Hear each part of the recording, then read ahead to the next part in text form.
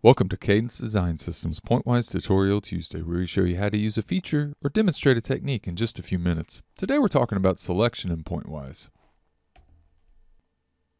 There are a few exceptions, but most operations in Pointwise you need to select an entity before performing the operation. Because of this, selection is a pretty important thing. The most obvious way to select something is using the left mouse button and just clicking on it. If I want to know if something is selected or not, it'll be in bold in the lower right hand corner where the name is. It's not selected, now it is selected.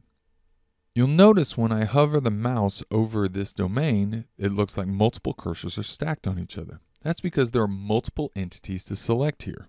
There's domain 55 and domain 56, and I can toggle between them by hitting the spacebar. If there are more than two entities, it will toggle between all of them whenever you hit the spacebar. If I want to select multiple entities, I can hold the control button and it will make it an additive selection.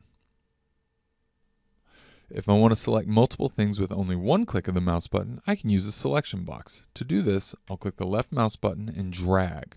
You'll notice the cursor next to the cursor is an icon with a line through a box. That means that I will select anything this box touches, like that. If I hold shift and do a selection box, you'll notice the line now is totally contained within the box. This means the only things that will be selected are those that are totally contained within the box. If I want to toggle between the entities that are selected and the entities that are not selected, I can use Control T. And yes, this works when you have nothing selected. Moving away from GUI selection, we can select entities through the list panel as well. I can expand the connectors, and it works much the same way. Left clicking will select a single entity. I can use control to select multiple entities. You will notice that they are being highlighted in the GUI as I select them or hover over them. I can use shift to select multiple in this way.